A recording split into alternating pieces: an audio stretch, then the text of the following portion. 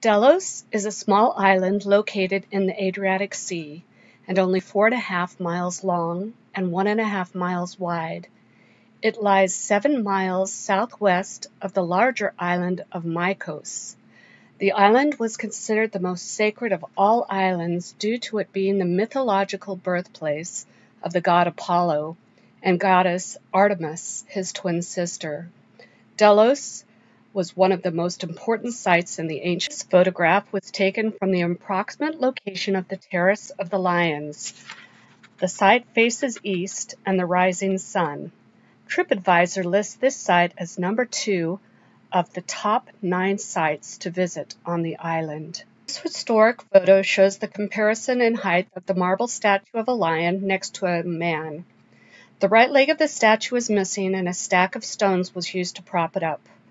Erosion has stripped the statue of eyes, teeth, mane, and tail. This photograph shows the missing front legs of many of the lion statues. Metal posts were used to position the remaining sculpture.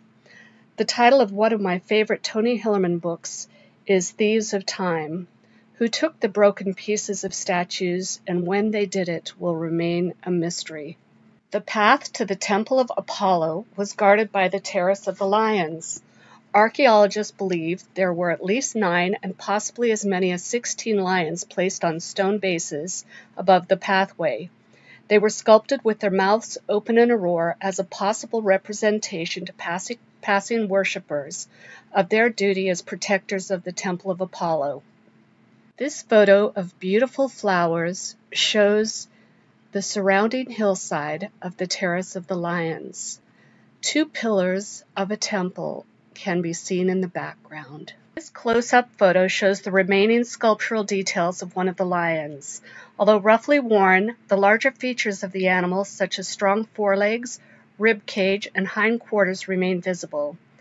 The statue shows the remarkable talent of the sculptor in capturing the power and majesty of a lion.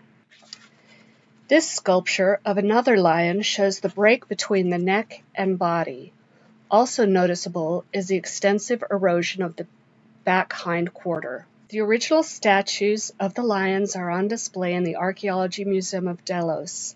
Although the statues are eroded, broken, and missing parts, the remaining details are astounding.